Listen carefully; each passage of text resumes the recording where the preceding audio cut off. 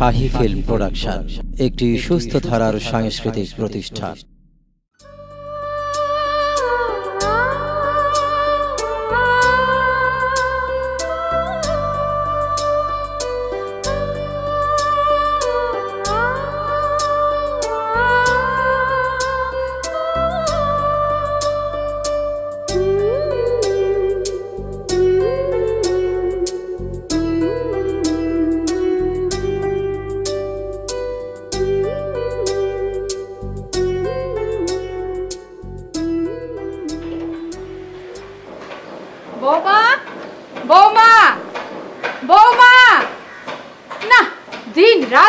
Mobile mobile আর mobile. কাজ কামের কোনো বালাই নাই। বৌমা!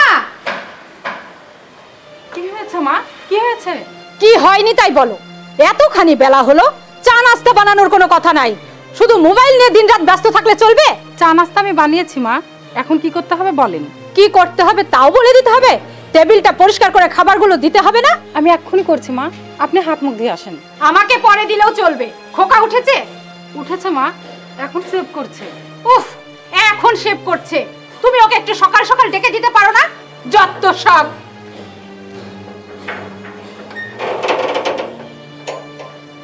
বাবা, একটা ঝড় বয়ে গেল।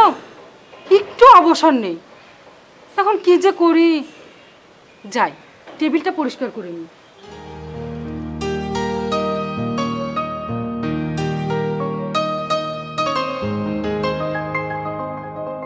বাহ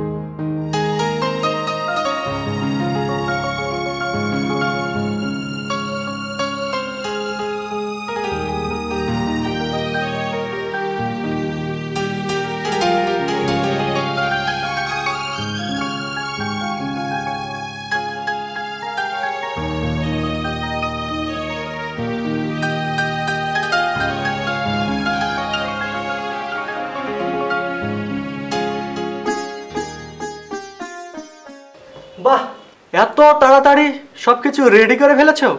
তারপরও তোমার মায়ের মন পাওয়া যায় না। দিনরাত শুধু ক্যাটার ম্যাটার করতেই থাকে। কি করবে? একটু সহ্য করো।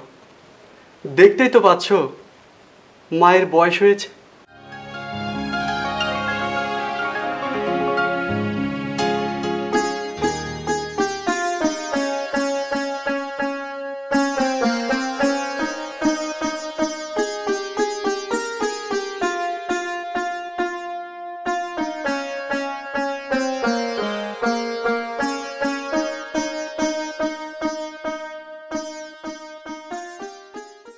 বৌমা! বৌমা! ওই দেখো ডাক পড়েছে। একটু স্বামী সেবাও করতে দিবে না। যাই মা!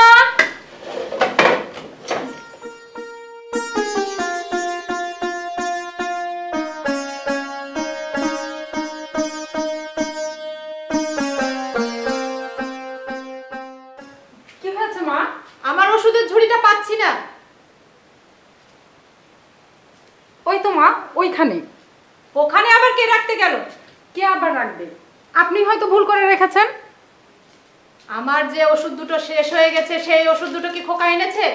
না মা আমি বলতে ভুলে গেছি। ভুলে তো যাবে দিন রাত শুধু মোবাইল নিয়ে ব্যস্ত থাকলে মনে থাকে?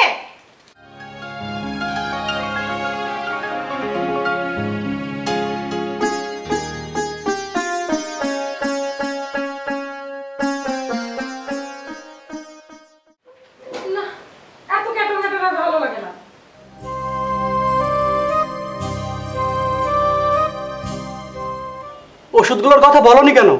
ভুলে গিয়েছিলাম। তাছাড়া গতকাল তুমি যে তাড়াহুড়ো করে বেরিয়ে গেলে?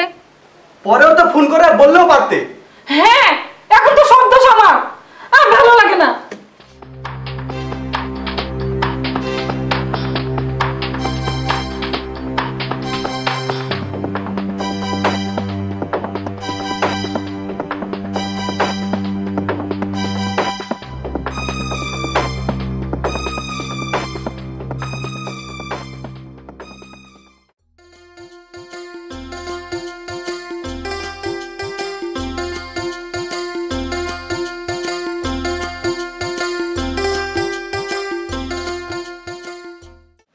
দেখো তোমার মায়ের ক্যাটর ম্যাটর আর ভালো লাগছে না। তুমি এর একটা বিহিত করো। বিহিত? কি বিহিত করব? আমি মায়ের একমাত্র ছেলে। মাকে তো আর তাড়িয়ে দিতে পারব না। আর মাকে একা ফেলে কোথাও যেতেও পারব না। আমি মাকে তাড়িয়ে দিতে বলছি না। আর একা ফেলে কোথাও যেতেও বলছি না। তবে? আমি বলি কি মাকে তুমি একটা বৃদ্ধাশ্রমে রেখে আসো। কাজল! তুমি আর একটি বারো এই কথা উচ্চারণ করবে না। করলে আমি তোমাকে তাড়িয়ে দিতে বাধ্য হব। তাহলে তুমিও শুনে রাখো আমি এভাবে এই বাড়িতে থাকতে পারব না। কালই বাবার বাড়ি চলে যাব। আরে যাও না পারলে এক্ষুনি যাও। কি হলো খোকা? চিৎকার করছিস কেন? কি হয়েছে বৌমা? কি আবার হবে? আপনাদের যা স্বভাব আমি এক্ষুনি বাবার বাড়ি চলে যাব। কি হয়েছে বলবে তো? আর যেতে হয় কাল সকালে যাবে। বাবা একটু অসুস্থ মা এক্ষুনি যেতে হবে। হ্যালো, আঙ্কেল, আপনি একটু এখানে আসুন তো। আমি বাবার বাড়ি যাব। হ্যাঁ হ্যাঁ এক্ষুনি। আপনি না এলে আমাকে একাই যেতে হবে। জি, না না। আচ্ছা ঠিক আছে। জি জি। আচ্ছা রাখছি।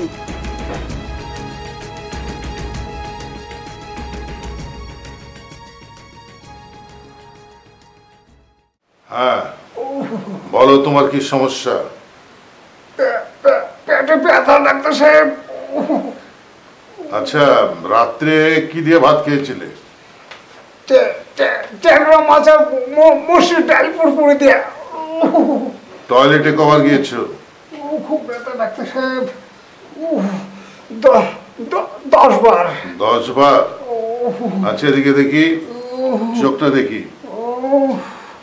এই চোখ জিভ দেখি। হ্যাঁ আচ্ছা দেখি।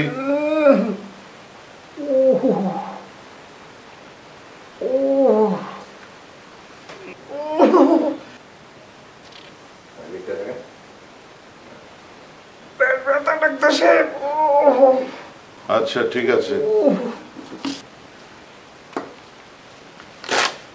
হ্যাঁ নাও। দেন ডাক্তার সাহেব। ফার্মেসি থেকে কিনে নাও। আমি ভালো মতো ডাক্তার সাহেব। ভালো না হলে আবার আসবে। আচ্ছা যাও ঠিক মতো ওষুধগুলো খেয়েও। আচ্ছা ঠিক আছে। আসসালাম ওয়ালাইকুম ওয়ালাইকুম আসসালাম।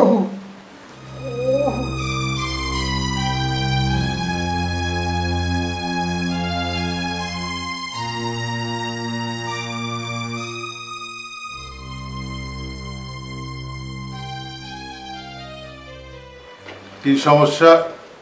আরে কাজল বলা নেই ক নেই ফুট করে রাতের বেলায়? বাবার বাড়ি এলে কি বলে কয়ে আসতে হবে বাবা? না তা নয়। একটু রিং করে এলে কাজের মেয়েটাকে দিয়ে ভালো মন্দ কিছু রান্না করে রাখতাম। বাবার বাড়িতে এসে যা পাবো তাই ভালো খাবার বাবা। জামাই কোথায়? বাড়িতেই আছে খুব ব্যস্ত। ভালো ব্যস্ত থাকা ভালো। বাবা আমি আর ও বাড়িতে যাব না। বলো কি? ওটাই তো তোমার নিজের বাড়ি। বিয়ের পর স্বামীর বাড়ি হয় মেয়েদের নিজের বাড়ি আসল বাড়ি। তবুও আমি ও বাড়িতে যাব না বাবা। ঘটনাটা কি একটু খুলে বলো তো। দিন রাত আমার শাশুড়ি ক্যাটর ম্যাটর করতেই থাকে একটুতেই বকাঝকা শুরু করে। বৃদ্ধ মানুষ তাছাড়া শুনেছি তিনি প্রায় অসুস্থ থাকেন। তাই হয়তো তিনি এরকম করেন। আমার আর সহ্য হচ্ছে না বাবা। আমি আর ও বাড়িতে যাব না। একটু সহ্য করো মা। বড় মানুষ। আর কদিনই বা বাঁচবেন? নাই যদি বাঁচে বাবা তাহলে আমাকে এমন একটা ওষুধ দাও যেন আমার শাশুড়িকে খাওয়ালে তাড়াতাড়ি মরে। ছি মা। আমি মানুষকে বাঁচার জন্য ওষুধ দিই মরার জন্য না। তাহলে তো বাবা আমার আর ও বাড়িতে যাওয়া হচ্ছে না। আমি তোমার সেবা করেই জীবন কাটিয়ে দিব। মেয়ে মানুষ চিরদিন বাবার বাড়িতে থাকে না মা। তোমার মা বেঁচে থাকলে এ কথাই বলতো। তাহলে আমি যেটা বললাম সেটা করো বাবা। বলো মা কি করতে হবে? আমার শাশুড়ি যেন এক মাসের মধ্যে মারা যায় সেই রকম একটা ওষুধ দাও। এক মাসে মরার ওষুধ? তাহলে ওষুধ না নিয়ে তুমি যাবে না? না বাবা ওষুধ না দিলে যতদিন শাশুড়ি মারা না যাবে ততদিন আমি ও বাড়িতে যাব না। ঠিক আছে আমি তোমাকে ওষুধ দিব তবে একটা শর্ত তোমাকে মানতে হবে। আমি সব শর্ত মানতে রাজি আছি বাবা বলো আমাকে কি করতে হবে? সামনের এই একটা মাস তোমাকে তোমার শাশুড়ির সর্বোচ্চ সেবা করা লাগবে কোনো রকম দুঃখ দেওয়া যাবে না। আমি রাজি বাবা তুমি আমাকে ওষুধ দাও।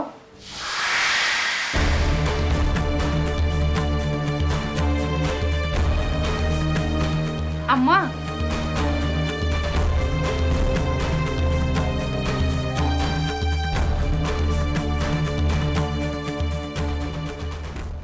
সেই তো এলে বাপু, কি দরকার ছিল তড়ি ঘড়ি করে বাপের বাড়ি যাওয়ার? একটু জরুরি দরকারে গিয়েছিলাম মা। আপনার কষ্ট হবে ভেবে সকাল সকাল চলে এলাম। আমার কষ্টের কথা ভেবে চলে এলো? মা ও হ্যাঁ ভালো করেছ। এখন জামা কাপড় চেঞ্জ করে নাস্তা তৈরি করো। আমি এক্ষুনি যাচ্ছি, মা। মা, আজকে আমরা একসঙ্গে নাস্তা করব।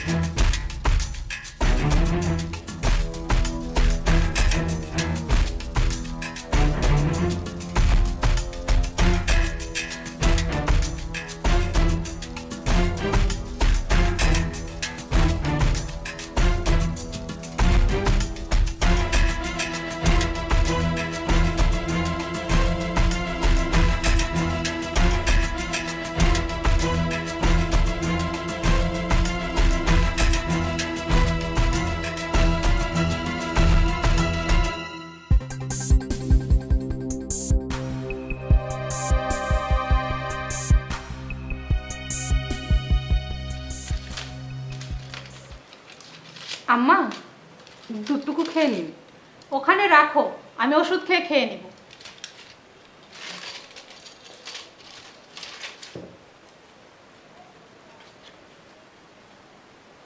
তুমি খেয়েছো? না মা, আপনার ছেলে এলে একসঙ্গে খাব। আচ্ছা।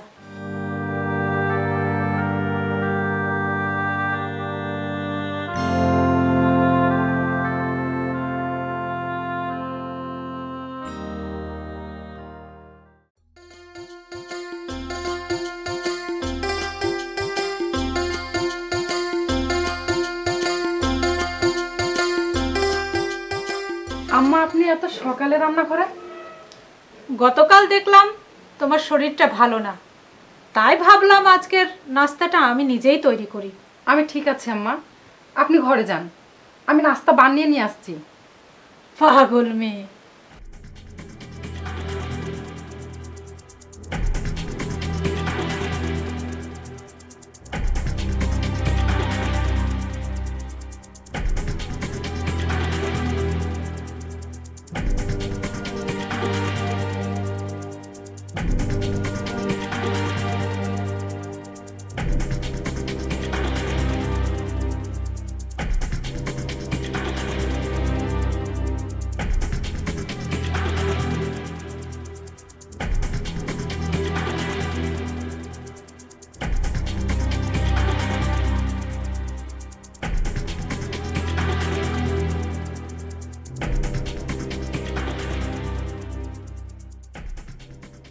আজ পনেরো দিন হলো আমার শাশুড়িকে ওষুধ খাওয়ানো।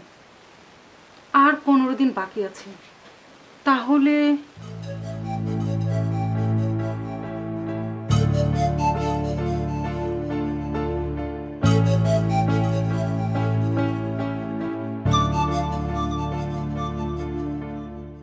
বৌমা এবার বাবার বাড়ি থেকে এসে বেশ ভালো হয়ে গেছে।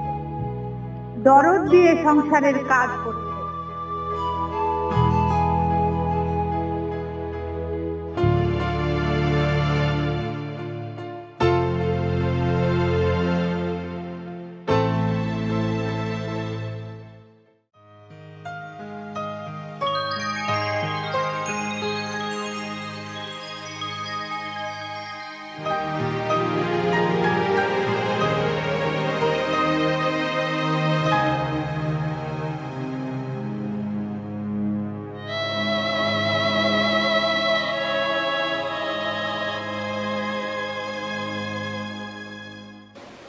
মাস হতে আর মাত্র পাঁচ দিন বাকি আছে।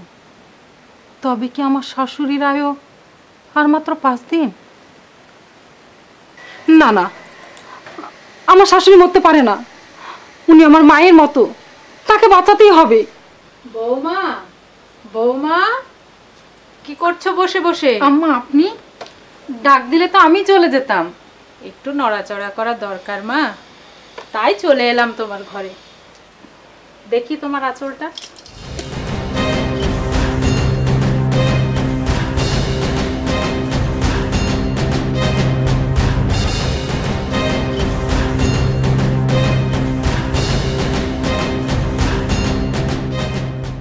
এ কি মা?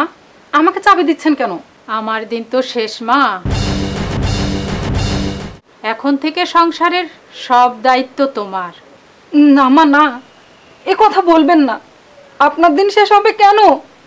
পাগলি মেয়ে, চিরদিন কেউ বাঁচে? সবাইকে একদিন সব কিছু ফেলে চলে যেতে হয়। আম্মা, আমি কাল একটু বাবার ওখানে যাব। সে তো ভালো কথা, অবশ্যই যাবে। তবে চাবির গোছা সঙ্গে নিয়ে যাবে, আর ফিরে এসে দায়িত্ব পালন করবে।